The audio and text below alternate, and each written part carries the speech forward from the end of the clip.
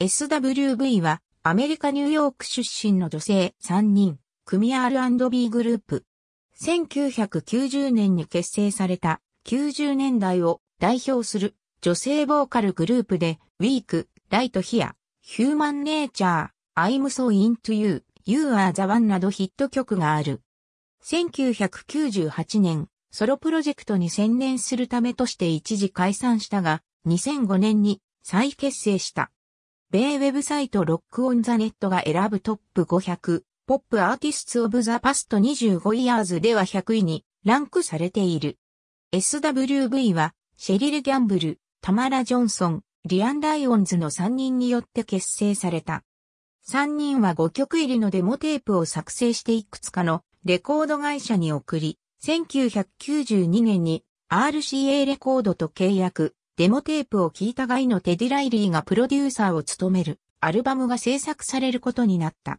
1992年10月27日に RCA レコードから発売されたデビューアルバム It's About Time は300万枚以上のセールスを記録し RIAA からトリプルプラチナに認定された。ファーストシングルライトヒアは1992年秋にリリースされ R&B チャートで16位になった。セカンドシングル、I'm So Into You は R&B チャートで2位、ビルボードホット100では6位であった。サードシングル、Week は R&B ホット100両チャートで1位を獲得。フォースシングルでリミックスとしては初のシングルとなるライトヒア、ヒューマンネイチャーはマイケル・ジャクソンのヒット曲、ヒューマンネイチャーをサンプリングした曲で R&B チャートで1位、ホット100では2位となった。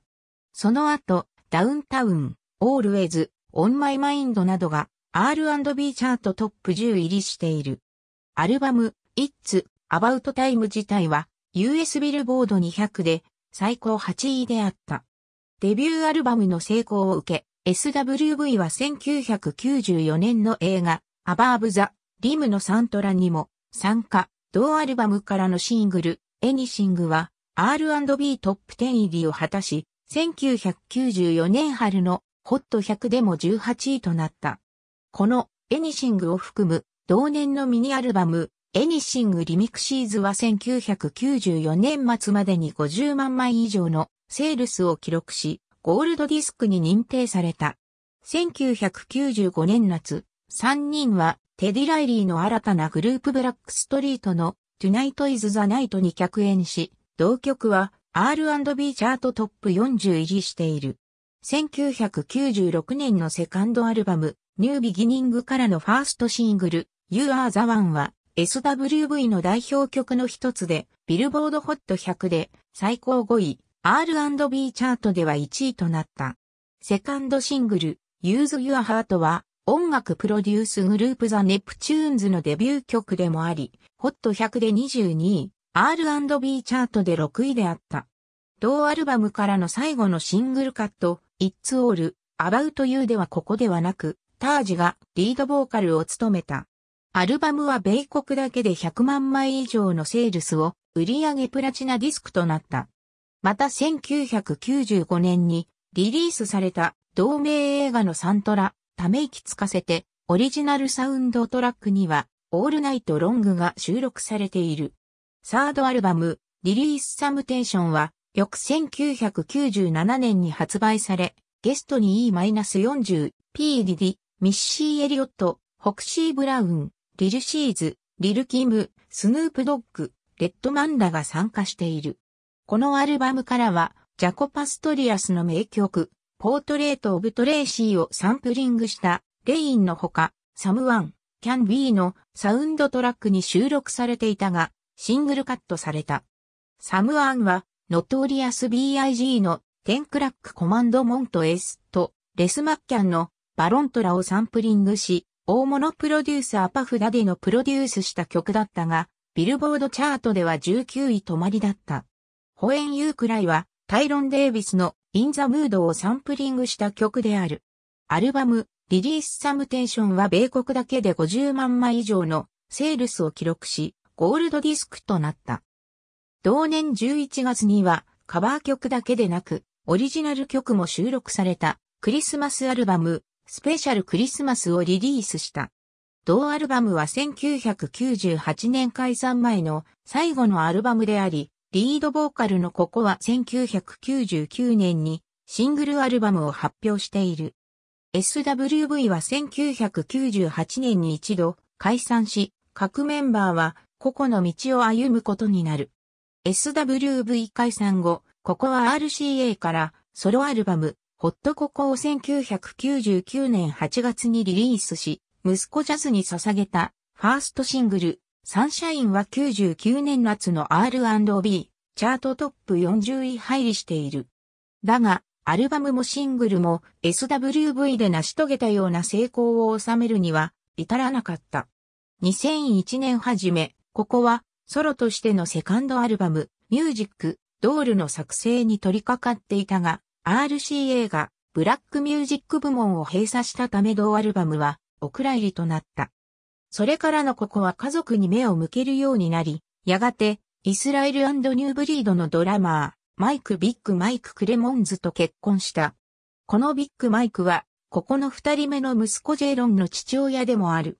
2001年、こことここの母親クライド・レディ・ティバ・ギャンブルの歌ったエリック・クラプトンのティアーズ・イン・ヘブンのリメイク曲がアルバムリズムSpirit Love Can Build a Bridge に収録された。このアルバムにはジェニファー・ホリディ、パティ・ラベル、トラメイン・ホーキンズらが参加している。ココは2002年にはブレント・ジョーンズ &TP モブのシングル曲 Midnight にも参加しており、2003年 Youthful Praise のゴスペルアルバム Thank You for the Change のアップ・ゼアリードボーカルを歌った。ここのゴスペルアルバムグレートフルは米国で2006年10月31日にリリースされビルボードトップインデペンデントアルバムチャートで5位につけた。このアルバムにはクラークシスターズのエンド、ミー・オフェイス・エヴァンス、ファンテージやリルモーと共に歌った曲も収録されている。フェイス・エヴァンス抜きの別バージョン、エンド、ミーは、ブラックエンターテインメントテレビジョンの Celebration of Gospel 07という番組で披露された。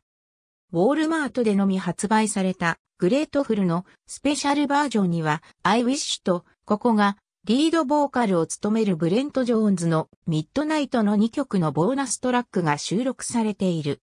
またココは、シェリー・シェパード、スター・ジョーンズ、バネッサ・ウィリアムスらと共に、舞台、バギナ・モノローグスにも出演した。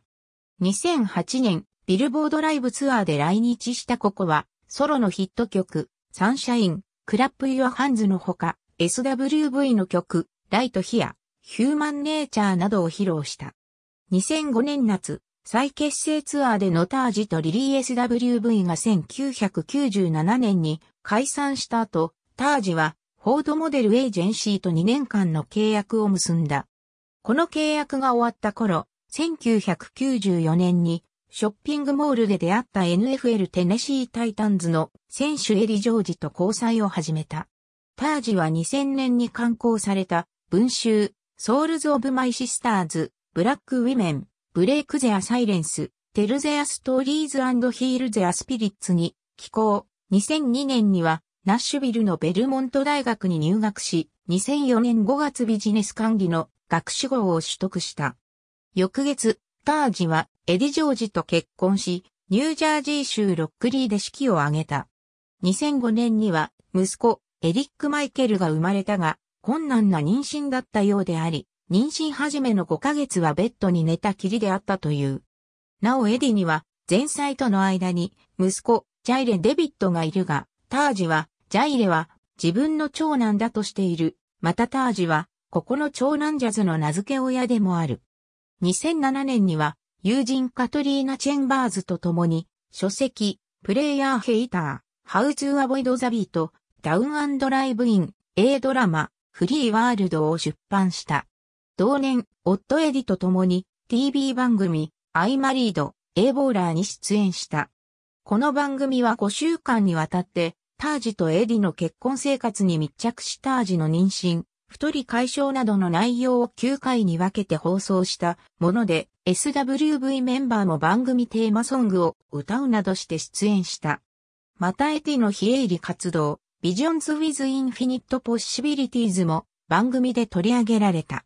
タージは2009年2月に人気 TV 番組サバイバーにも出演している。2005年 SWV は再結成しニューアルバムを翌年発表する計画であると報じられた。2008年6月24日には2008年のベッドアワードに特別出演し、アリシア・キーズと共にウィークを歌った。2010年2月2日、ザ・モニークショーに出演しココとリリーのリードボーカルで、パッティラベルの If Only You Knew を歌った。2011年 SWV はマスアピールエンターテイメント及び E1 ミュージックとレコーディング契約を交わしたことを発表した。2011年6月10日にはクリス・ブラウンがライトヒア、ヒューマンネイチャーをリメイクした曲 C 永遠というのをリミックスに客演した。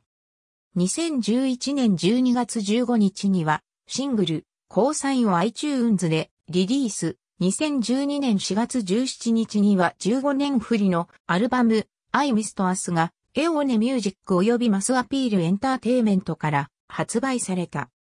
ありがとうございます。